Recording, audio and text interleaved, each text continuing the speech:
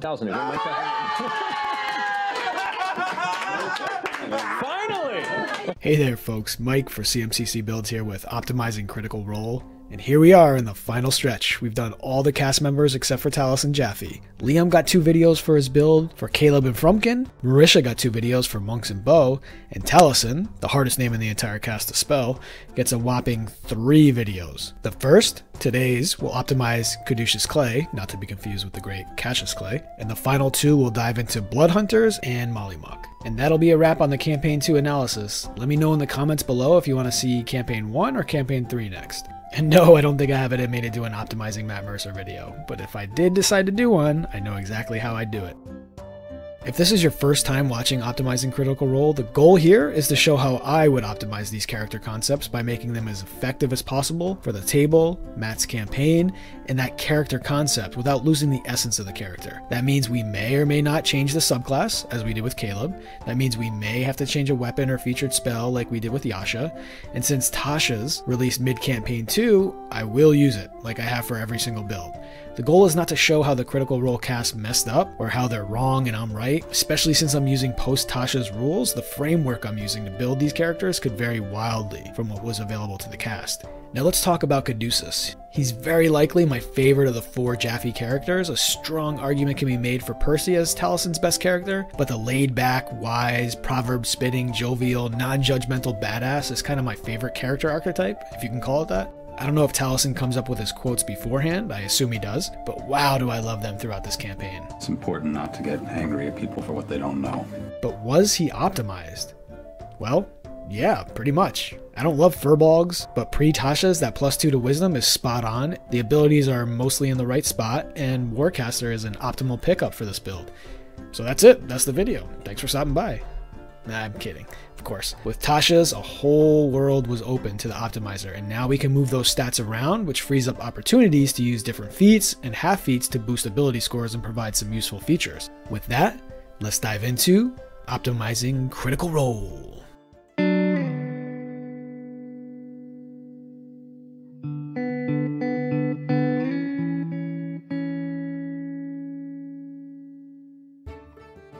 Caduceus' race, as always, I'm sticking with the chosen race, Firbolg. The Githzerai is probably the best racial choice for clerics behind variant humans and custom lineage. Harengon is also a strong pick for any spellcaster. I'm currently playing a Hexwiz Harengon, and that initiative bump and the rabbit hop feature is as strong as any spellcasting feat. And to be fair, watching Taliesin play a giant wisdom spouting bunny would have been amazing. What's up, Doc? But since Tal picked Firbolg, let's stick with that and see what we can do. For Firbolg Magic, we will of course choose Wisdom for the spellcasting modifier. This feature provides a couple of spells, both situationally useful. Hidden Step, Powerful Build, and Speech of Beast and Leaf are mediocre abilities at best. It, it is what it is. Moving on. For abilities, Taliesin rolled 3 16s, a 12, and 2 9s. With these rolls and the makeup of the party, I almost certainly would have played a Paladin or Ranger, or even a Mercy Monk if it was available. All three have strong healing abilities and can make good use of three high stats, but given the character concept, we'll stick with Cleric. So where do we want those stats? Because we can move racial ASI, we'll want to shift around the original stats. Strength 9, Dexterity 16, Constitution 16, Intelligence 9, Wisdom 16, and Charisma 10. The racial ASI will bump Constitution to 17 and Wisdom to 18. I switched Charisma and Dexterity because Dexterity is the more important stat, and dropping from a 16 to 12 Charisma should have no major implications on roleplaying for your character. Dexterity needs to be a minimum of 14 to take full advantage of medium armor, and the original 12 all but forced Taliesin to use an ASI on a tertiary stat, which is completely suboptimal. That 16 allows for the plus 2 to be used with Caduceus' Green Beetle breastplate, while also boosting initiative to plus 3. This also opens up the possibility of taking the medium armor master feat down the road to bump AC by plus 1 and allow Caduceus to wear half plate without the disadvantage to stealth checks, further increasing his AC to a total of plus 2 for this one feat. For background, Taliesin took the Far Traveler background to get proficiency in Insight and Perception, both excellent skills that fit extremely well on a wisdom based character like Cad. Along with these skills, this background gives one language and one instrument or gaming set proficiency. If you wanted to change out the gaming set for something more useful like Thieves' Tools or an Herbalist kit, that would be a perfectly reasonable substitution, especially the latter for a character like Caduceus. Before we jump into starting class, let's discuss Tal's goal with this character. He spoke about wanting to explore life and death, and specifically how it pertains to the natural order of things. Because of that, he went with the Grave Cleric as a subclass choice. This is one of the weaker cleric subclasses in the game. The Nature Cleric jumps out as an obvious selection. Unfortunately, this subclass may be the only subclass that's worse than the Grave Cleric. Maybe Knowledge, I don't know. But Nature Cleric fits extremely well with a follower of the Wild Mother, and all of the themes of death that Tal wanted to explore can still be explored here. And then finally, the most powerful option would be something like Death Cleric. Now, the Death Cleric is extremely underrated by almost everyone I see online, including some of those big YouTubers that do class and subclass rankings. The channel divinity alone can output significant damage numbers, and with the average or DMG recommended number of short rests, those damage numbers can outshine even the paladin's divine smite damage contribution. Death clerics are no joke, but unfortunately, Rather than exploring the natural themes and cycles of life and death, this cleric is more aligned with necromancy, someone who dabbles in dark magic and the undead. What sort of dark magic is this? Which takes us way off the path of Taliesin's character design. For that reason, we'll stick with his pick, the Grave Cleric, but not at level 1. For the starting class, we're going to take Druid. If you watch my Arcana Cleric build here, this may sound familiar to you. The combination of Thorn Whip and Spirit Guardians is too enticing to pass up on a build like this. Druid also provides several defensive and support spells not available to clerics, while also shoring up the nature slash cleric aspect of Caduceus' background, without having to actually go with a nature cleric. There are a couple of downsides to multiclassing this build. First, we lose out on the level 16 ASI feat. That's okay, we're going to build around that, which means unfortunately some of the excellent half feats we wanted will be unavailable to us. Second, druids can't, or more accurately won't, whatever that means, wear metal armor, which is perfect because Cad wears beetle armor. Another great fit for druid. And finally, this multi-class does slow our spell progression a bit. A one level dip when a spellcaster can have major power ramifications. Yes, because both Druid and Cleric are full casters, the spell slot progression will remain unaffected, but Caduceus will be a level behind Jester, Caleb, and even Fjord for much of the game in terms of actual available spell level. In other words, at level 5 when Caduceus enters the game, he will be casting second level spells instead of third level spells like Caleb. Although it's important to say that clerics may be the full casting class least affected by this delayed spellcasting because they have two of the three most powerful spells to upcast with Spirit Guardians and Aid. So those are the negatives. What does Caduceus get with Druid? For the skill proficiencies, Tal took Religion, which makes sense for a cleric, and Medicine. I personally would take nature instead of medicine because Cad lived his whole life in the Blooming Grove, worshipping the Wild Mother, but as a caretaker of the dead, medicine works perfectly fine here as well. He learns Druidic, which is whatever, we're here for the spells. I'll cover the cleric spells en masse at the end of the video. For druid cantrips, of course, Thorn Whip. Get over here! To pull enemies back into Spirit Guardians and into other AoE traps set by Caleb, Fjord, and others, Shillelagh is a common pickup for staff-wielding druids and rangers, but for Caduceus, I like Mold Earth. The damage from Shillelagh is a small piece of his total DPR, which will largely come from spells like Spirit Guardians and Spiritual Weapon. Reshaping the ground around him with the divine support of the Wild Mother is an image that fits well for me. Mold Earth also happens to be a quality cantrip with a lot of utility in and out of combat. Shape Water is another one of these types of cantrips, but thematically I favor Earth to Water for Cad. For the first level druid spells, Caduceus will eventually be able to prepare 6. Absorb Elements is a strong first level defensive spell and unavailable to clerics. This will help a lot in those battles against Gelidon or other dangerous creatures with elemental attacks. Animal Friendship or Beast Sense works for that nature connection. Entangle is a solid first level control spell that can lock down enemies in a 20 foot square. This probably stretches the bounds of Cad's connection in nature, but it should certainly fit. Fog Cloud is another excellent first level spell that produces heavy obscurement, effectively blinding anyone inside without blind or true sight. This has so many uses, especially against enemy casters. Protection from evil and good helps in those battles against aberrations, celestials, elementals, fae, fiends, and undead. And finally, the big one, Goodberry. Likely the best healing spell in the game and one of the better spells to upcast, this provides 10 points of healing per spell level. In addition to the power level, I like the idea of someone flavoring the good berry to be part of Caduceus' tea. Like instead of berries, they're actually tea leaves that he uses to make tea that fills anyone up who drinks it, heals them a bit, etc. And in combat, he can shove those tea leaves in a fallen ally's mouth and bring them back to one hit point. It would have been really cool if the dead person tea he drank had some mechanical use beyond just its narrative function. And at this point, switch to Cleric for the next four levels. That brings Cad right to level 5, where he met the rest of the Mighty Nein. Level 1 gives Circle of Mortality, which allows for max healing on downed allies, and the Spare the Dying cantrip as a bonus action spell with 30 foot range. Eyes of the Dead for a Detect Undead Wisdom mod times per day. At level 2, clerics get their Channel to Divinity, and Grave clerics get Path to the Grave, which gives a single target vulnerability to the next attack against them.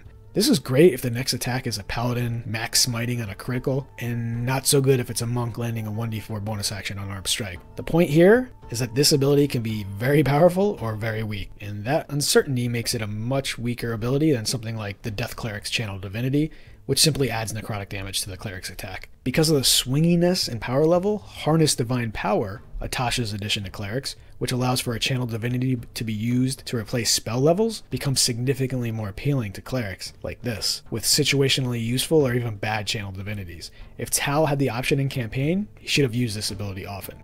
At Cleric level 4, Cad gets his ASI feat and will do what Taliesin did and take Warcaster to make sure that Caduceus can hold a staff, in this case a Magic Blight Staff, along with a shield.